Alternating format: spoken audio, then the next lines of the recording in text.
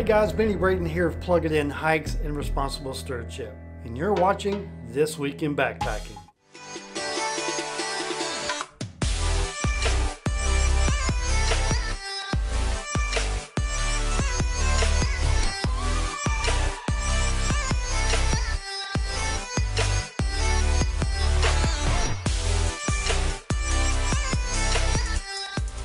What's up, everybody, and welcome back to This Week in Backpacking. We're your hosts, Miyagi and Trips, bringing you some of the stories this week in the world of backpacking. Trips, welcome back from Florida. Thank you. Had a fantastic time. Super relaxing, but Warm- much too short. Warm weather, good, Oh yeah. good, good weather with Mrs. Stringer. Yep. Who doesn't want me to call her Mrs. Stringer? Bridget.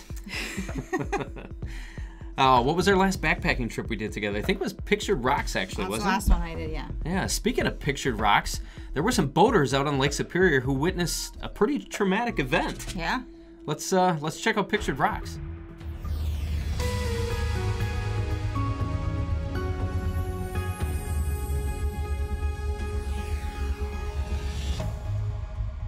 The views at Pictured Rocks National Lakeshore are constantly changing, as one group witnessed on June 26th. Viewer video from John Martin shows a 200 foot cliff face break off and slide into Lake Superior on Saturday afternoon at about 4 p.m. in the area between Miners Beach and Mosquito Beach. Those watching from the pontoon boat said the rock slide created large waves, which caused a slight panic among those who were on the boat. No one was injured, though, as the boat successfully navigated the waves. Martin stated that they could hear the cliff wall popping and cracking, and within 60 seconds, a section of cliff approximately 200 feet wide fell right in front of them. In 2019, a drone photographer captured a similar moment when a slice of the cliff fell into the lake. Officials with the park say that small pieces break away as the soil thaws each year, but giant releases like the one in June or in 2019 are extremely rare and only happen every five years or so. Sue Reese, Pictured Rocks National Lakeshore's chief of interpretation, stated that it's just one of those risks with sandstone. It's very soft and always eroding, but it's rare to catch it on film. Trips and I have done numerous trips to Pictured Rocks National Lakeshore, and to be in the right place at the right time to capture that where no one got hurt, simply amazing. Yeah, that's pretty incredible. Hmm. Let's head over to Ovando, Montana now, where there's some tragic news about a fatal grizzly bear attack.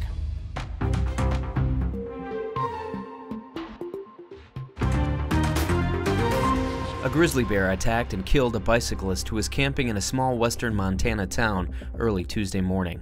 Greg Lemon, a spokesperson with Montana Fish, Wildlife, and Parks, said that the pre dawn attack happened in Ovando, a town about 60 miles northwest of Helena. The bear had wandered into the area where the victim was camping, next to a small post office, and then left. The campers got up and secured the food that had been stored in their tents and then went back to sleep. The bear returned and attacked 65 year old Leah Davis Lokan, pulling her from her tent and killing her. A team of law enforcement and wildlife specialists were brought in to track down and kill the bear. They set several large traps, including one near a chicken coop that was also raided the same night Davis was killed. Investigators obtained DNA left by the bear in the attack and could compare it with any bear that they're able to trap. Grizzly bears have run into increasing conflict with humans in the northern Rockies over the past decade as the federally protected animals expanded into new areas and the number of people living and recreating in the region grew. That has spurred calls from elected officials in Montana and neighboring Wyoming and Idaho to lift protections so the animals can be hunted. People who camp in grizzly bear country, whether deep in the woods or in a developed campground, are advised to keep food and scented products like toothpaste and lip balm away from their campsite at all times. Campers should also cook away from their camp area to avoid lingering cooking and food smells from attracting wildlife. Officials also state that if a bear comes through a campsite, it's important to stay on the lookout for the animal to return. We've put links below in the description of this video for tips and advice on how to help keep you safe in bear country. Our thoughts and prayers go out to Lokan's friends and family. We've seen a lot of posts from Appalachian Trail hikers regarding a male who has had very bizarre interactions with hikers and especially seems to target female solo hikers. Most recent information I was able to find was from two days ago when he was seen about one and a half miles north of Snickers Gap, Virginia, close to Bears Den Hostel. Recent information indicates that he may now be in the company of another male. Hikers have stated that he says his name is Mike. He's hiking in blue jeans and boots that are unusual for hiking. He carries a small day pack, but walks around with a hammer. He appears to be hiking southbound without food or water. One female hiker who encountered him stated that she stopped to get water near a bridge, and Mike proceeded past her and laid down in the middle of the bridge, essentially blocking her forward progress. She discreetly snapped this photo of him.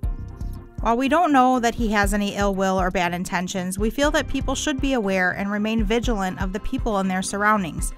Multiple people have reported him to local police agencies as well as the Park Service. Please be safe out there. Max Patch, the popular grassy bald on the Appalachian Trail known for its picturesque views in Madison County at the Tennessee state line, has some new rules in place. In an announcement July 1st, the Forest Service says the new restrictions, effective immediately, are designed to reduce those impacts to natural resources and protect public health and safety.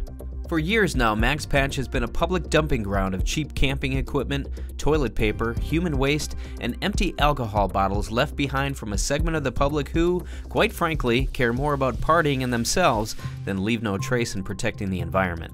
Visitors to Max Patch have been trampling newly planted materials in areas restored for gold-winged warbler habitat, and they've even pulled up fence posts for firewood. Another overlooked issue is parking. With cars being parked on both sides of the road, it hinders and sometimes prevents emergency vehicles from accessing communities and their residents. The U.S. Forest Service is prohibiting camping, fires, and more at Max Patch in the Pisgah National Forest for a period of two years, as overcrowding continues to have detrimental impacts on the area. Previous prevention efforts, such as signage, barriers, and fencing, have proved to be completely ineffective. The Carolina Mountain Club even had trail ambassadors that worked tirelessly in an effort to educate the public on Leave No Trace, the need to stay on trails, and not destroy wildlife habitat in the area. But unfortunately, their message has mostly fallen on deaf ears. The rules will stay in effect for two years as the monitoring group made up of U.S. Forest Service personnel, local community members, and other partners continuously monitor visitors and their use and impact on the area. The area will be regularly patrolled by forest rangers, and violators will be subject to an 80 to $130 fine for each violation. The restrictions apply to an area surrounding the Appalachian Trail that crosses the Grassy Bald and extends towards Max Patch Road to include the Max Patch Trail. User created trails connecting the road and the Appalachian Trail are closed. AT through hikers are also prohibited from camping at the site and are encouraged to check with the Appalachian Trail Conservancy on other overnight options nearby. When enjoying the outdoors, it's recommended that we recreate responsibly. In addition to that, it also helps to exercise a little bit of responsible stewardship, and let's not forget leave no trace. You know, if we follow all these guidelines, the impact on our public lands and green spaces will be minimized. And that's what we're here to talk to you about today, is how we can do that in a more responsible manner. And maybe what role we have to play as media creators, and maybe even media consumers. But let's talk about responsible stewardship real quick. Responsible stewardship is much more than recreating responsibly or even leave no trace. Responsible stewardship is education through action. And what I mean by that is instead of complaining and waiting on someone else to come along and fix the problem, why not take action and do it yourself. Or maybe lead an effort or inspire an effort to do something. A great example of this is Max Patch and the Smokies. How they've seen overwhelming numbers of visitors, some visitors mistreating the location severely. And instead of waiting for departments to come in and clean up areas and different things like that, organizations like Save Our Smokies has stepped in and said, no, we're doing this now. And since the first of the year, 2021, Save Our Smokies has removed over four and a half tons of litter off the roadsides of the Smokies, and they've not even covered all the roads yet. That's people coming together for the betterment of public lands. And Max Patch is no different. Max Patch is now under a two year ban of no camping and no campfires because people were mistreating it. But other people came to the rescue and fought for Max Patch and lobbied for that ban. Now, whenever it comes to digitally sharing a location, whether you're using a geotag or hashtag, there's a level of responsibility that we hold there as well. Now, one of the things I like to recommend people do is just take a minute and consider the following. Does the infrastructure actually support additional visitors? Are there adequate roads? Parking? Is there enough restrooms? Is there enough trash receptacles for people to throw away their trash? If your answer is to no to any of that, then that's your answer to whether you should geotag or hashtag that location. We also need to consider our human and environmental impact that we're placing on the ecosystem of that location. We can share, but we can do it in a responsible manner. Now, since I don't personally geotag or hashtag specific locations, I get a lot of questions of people asking me, hey, where is this place? whenever I'm making a post. And what this does is opens up an opportunity for me to have that conversation of responsible stewardship and leave no trace. It gives me an opportunity to talk to the individual about the special needs for that particular location, whether it be uh, certain areas are being rehabilitated, uh, maybe there's no restrooms or trash receptacles, so I'm telling people to plan ahead. Maybe the parking is limited, or maybe there's an entrance fee. I help those people understand the responsibility that they're taking on whenever they go to this location. And I encourage them to do the same. I encourage them to not geotag it or hashtag it, especially if it's a location that has seen very negative impacts due to social media, kind of like Max Patch. I encourage you to do the same thing. Take the time to have that conversation with people. I'm going to leave you with this. If we change the way we view public lands, it will change the way we use public lands. Carbon County authorities in Montana are searching for a hiker missing in the Custer Gallatin National Forest who has not been heard from since Thursday, July 1st. Red Lodge Search and Rescue and the Carbon County Sheriff's Office are working to locate 23 year old Tatum Tate Morrell, an experienced hiker who set out from the West Fork Trailhead the afternoon of Thursday, July 1st, to climb five mountain peaks in the Rock Creek drainage. Her plan was to scale Whitetail Peak, Castle, Bowback, Sundance, and Beartooth Mountains, each over 12,000 feet. Her plan was to complete the trip by Monday, July 5th. Around 8 p.m. Thursday, Tate used Garmin InReach GPS to check in with her mother from a tent she pitched along Shadow Lake. The lake is situated just north of Whitetail Peak, about 21 miles northeast of Yellowstone National Park's northernmost boundary. Tate hasn't been heard from since that communication with her mother. Red Lodge Fire and Rescue say that Tate is an experienced hiker and most likely left her tent Friday morning in the Shadow Lake area to hike up one of the closer 12,000 foot peaks in the area. All possible routes she could have taken to access the peaks are high elevation and relatively technical, with car sized boulders, scree, and snowfields. We have searched the rugged mountains west of Red Lodge, um, both from the air and on the ground. We've utilized uh, multiple helicopter platforms and high-tech technologies uh, to try and locate her. Um, four dog teams uh, scoured the area uh, trying to find any sign of her inserted multiple mountain and alpine rescue teams into the, the rugged mountains uh, and were unable to locate any sign of Tate. We will continue the searching over the next several weeks, utilizing dog teams and aircraft uh, with hopes of finding her.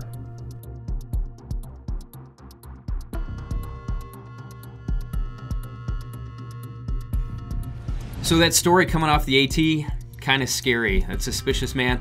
One of our uh, trail correspondents, Hunter Musgrove, is actually on trail right now in the area that that man is in, and I contacted him, talked with Hunter yesterday, and he stated that there was approximately 10 other female hikers who had witnessed similar activities, similar suspicious activities from this guy. Uh, but they state that they think that the guy has actually gotten off trail. However, that doesn't mean he's going to stay off trail. So make sure if you see any suspicious activity like that, report it to the authorities and let other fellow hikers know. It's important that we stay safe together as a community. Yes, if you guys uh, find value in these stories, please consider subscribing to the channel and sharing with other hikers within the community about the channel. And hit that bell notification. While you're at it.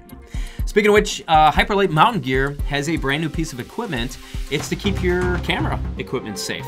So let's check out Hyperlite Mountain Gear's new camera pod.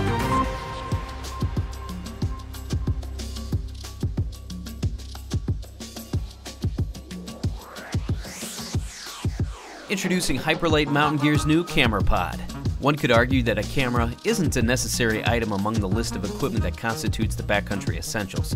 But we understand that for many of you, like us, documenting the transformative places you visit isn't only desirable, it's an absolute passion.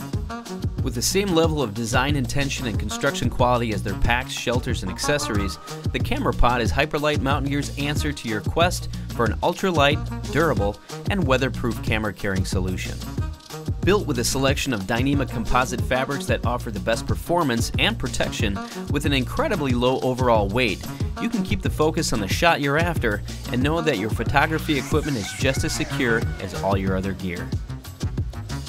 Available in two sizes, the regular, coming in at just 2.71 ounces, fits most smaller mirrorless and point and shoot cameras like the Sony a6000 series, Canon EOS M6, and Sony RX100. The large size comes in at 3.73 ounces and fits larger mirrorless cameras like the Sony a7 series, Nikon Z series, or Canon EOS R. Check the link below we have for Hyperlite Mountain Gear's new Camera Pod. I hear Milos filled in while I was on vacation. he did, and boy, boy, he's such a character, that He Milos. certainly is.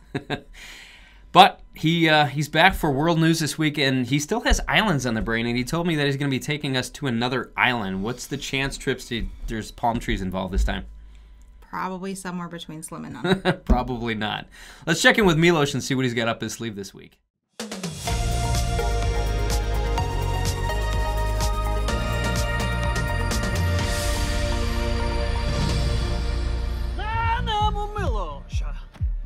Thank you for watching World News with Milosh. This week in the backpack, I'm gonna have hike Greenland. If you are go Greenland, bring a dollar and maybe bring a dog. Lilo, give me. Ah, this dog. You can bring her. If you don't have one dog, you bring Lilo. Okay, we go. Come on. For some reason, Milos have island on the brain. Lately, I think island I want to go. This time I go for Greenland. Greenland about 80% covered in ice. So I pick what? Arctic Circle Trail. Arctic Circle Trail, good place for lonely hike, good place for solitude, and good place for reflection of yourself. Although I get a little bit of discrepancy when people are tell you how long is the trail. ACT Arctic Circle Trail about 103 miles American, 165 kilometer. If you go for this hike, maybe 7 of 10 days of trek in the barren yet beautiful countryside western Greenland, 40 to 50 kilometer north of Arctic Circle. Milos give you elevation change about 13,465 feet up down up down. Maybe side side if you are going around muddy spot which is why you probably want to go between uh, June and September. But be careful. This is gonna be a time for you gonna get Arctic mosquito. The Arctic mosquito. Arctic mosquito. Which is why Milos gonna give a recommendation. Bring the bog net make sure you don't get bit by Arctic mosquito.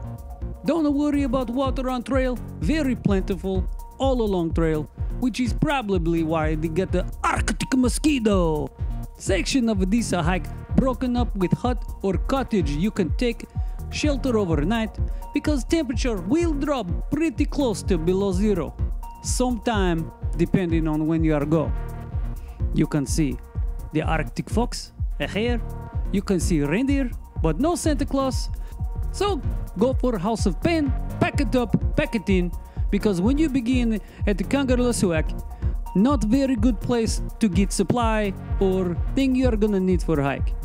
If you're gonna see the rare, very rare muskox, or even rarer than the muskox, the polar bear, take picture with the camera on the phone, but don't try to send it to your buddy friend.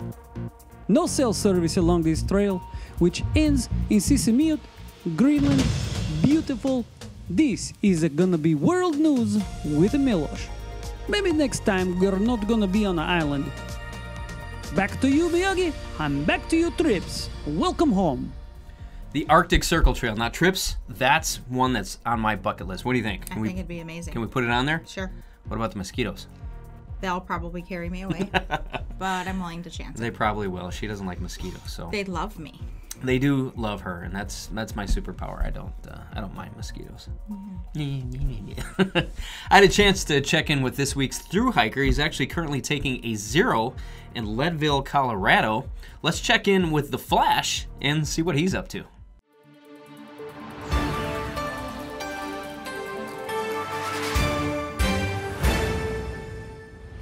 In 2019, Trips and I had the pleasure of meeting and hiking with an accomplished through hiker in the Red River Gorge. Brian the Flash Carpenter is no stranger to long distance trails. In 2012, Flash through hiked the AT and caught the long distance hiking bug. Among his long list of accomplishments, Flash through hiked the Sheltowee Trace in 2018, the Superior Hiking Trail in 2020, and is currently on pace at this very moment to complete a through hike of the Colorado Trail. Let's check in with Flash and see how he's doing. Thank you, Trips and Miyagi. My name is Brian Carpenter on the trail I'm known as the Flash, and right now I am sitting 143 miles in on the Colorado Trail in Leadville. And if I could sum up this trail in two words, it would be number one, challenging, and number two, breathtaking.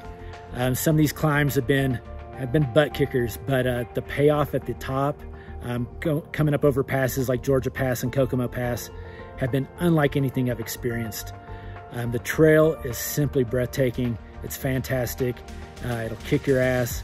But overall, man, I'm so glad I'm out here and can't wait to see what the next 340-ish miles um, turn out to be. Um, if you haven't had a chance to get out to uh, Colorado or hit up the Colorado Trail, definitely add it to your list. You will not be disappointed. Thank you guys for having me on here and uh, hope to give you guys an update again pretty soon.